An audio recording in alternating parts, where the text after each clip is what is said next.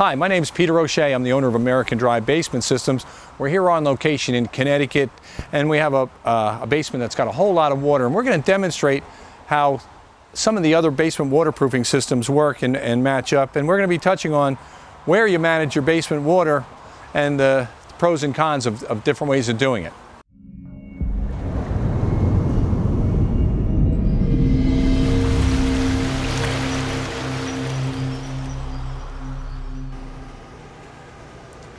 I brought along a piece of another type of waterproofing system and I'm going to show you how it would be installed and you'll be able to see exactly how it's supposed to work. But this system sits right on top of the footing. Now I have it right on top of the floor, but I just, for the purpose of showing you how much of a trench that you would get with this particular type of system. So this would be on top of the footing. Now the trench that they would dig would probably be about that much more wide than where the, the gutter is. So you're going to get a trench about that big. This would be dropped down on top of the footing itself, and then a little bit of stone would be applied out here, and then they would re-cement over about an inch or so, inch and a quarter, back on top of it. Water's coming right up through the area where we're breaking up the floor. That's hydrostatic pressure. That's water pushing up on the floor. Now, this water, if it were going to get over to, th to this system, would be sliding underneath the floor to get over to the drainage. If you're going to create a release of pressure underneath the floor at one end, water's going to flow towards that release of pressure. And in so doing, that can disrupt the kind of support that you would have underneath and holding up your floor. So it can actually create a situation where the support of your floor would be jeopardized.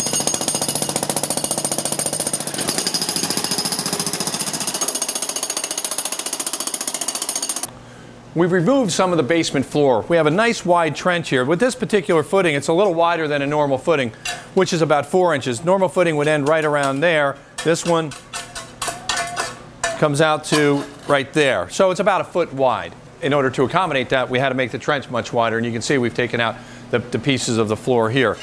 You can see it's filling up right around the sides of the floor and over top on, onto the footing. This is really important because if the water is right here, that means the entire floor has water up against the bottom of it and it's come around and the water is surrounding the entire floor. This is what I mean when I talk about where you manage your water determines just how dry you can get your basement. This water here is filled up all the way around the floor. There's a particular type of system that sits right on top of the footing, and I have a piece of it here. So it would sit there, and you can see the water fills up, is sitting right up next to it. So if the water level is here, the whole floor is sitting in water. Concrete's porous, it's, it absorbs water. So in this scenario, your whole floor will be sitting in water and it will always be damp because it'll have access to this water, even though this is going to be a way for the water to, to flow through, or, or I should say overflow into a, a sump basket and be pumped up out away from the house. But for water to get into this type of system, your whole floor is sitting in water. We have your footing right down here, and we come out, we come out, and here's the edge of the footing. Like I said, it's a nice wide footing. The footing comes out to about here. If you were to be able to establish your drainage down within the depth of the footing, say we went down about 10 or 12 inches, depending on how deep the footing goes, and we were able to set up stone and pipe, a corrugated perforated pipe, and have that pitched around to a basket, none of this water would be able to develop uh, and fill up around your floor. We'd be managing it where we should be much, much lower than this. This is not where you want to manage water, especially on this particular type of foundation. Just think, if you could pull the plug on this water down 10 or 12 inches, it would all drain. And if that was the amount of drainage you put around the entire foundation, you would keep that water level 10 to 12 inches below the bottom of the floor, as opposed to what this type of system does, it, where it manages the water within the depth of the floor.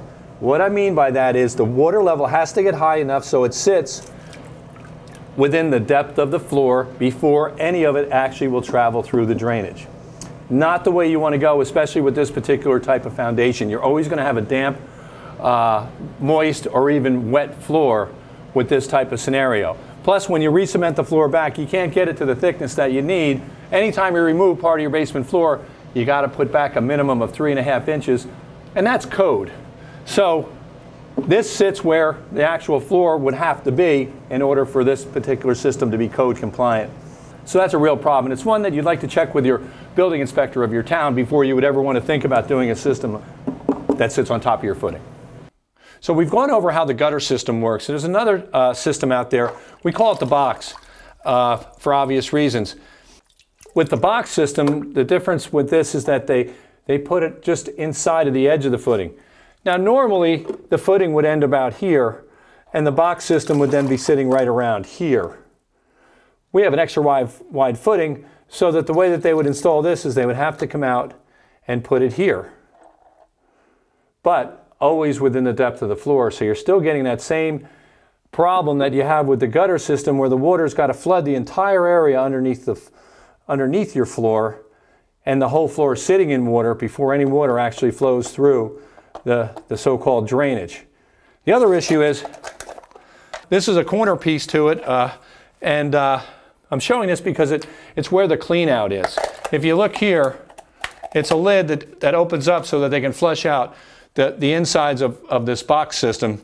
And the reason that there's a, an issue or that it needs to be cleaned out is that it's not pitched. So water kind of gets stuck in there and stagnates and grows uh, fungus and bacteria and a thing called iron ochre, which clogs them. So they need these clean out ports uh, in order to facilitate that. So if this were to be put on here, what I'd like to show you is here's the lid to it, like this. So you'd have to have it here, but then they re-cement.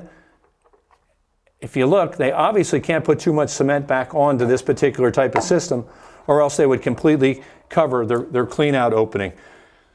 Here's where the problem comes in. Anytime that you remove your floor, any part of your basement floor, when you replace it, it has to be to a thickness by code of three and a half inches. So this particular system, in order to facilitate the clean out, shows that you're never going to get anywhere near that three and a half inch mark. So you'd have to check with your with your local building inspector if you're ever even going to think of this type of system to make sure you're not having a, a code violation installed as an attempt to try to waterproof your basement. Yeah, it's always something when you can wash your hands in the trench where you're trying to put your waterproofing in. Kind of shows that you really need the right kind of system uh, to be able to handle this volume of water. If you've liked the video, please subscribe and hit the bell and that'll notify you when our future videos are coming out. And thanks for watching.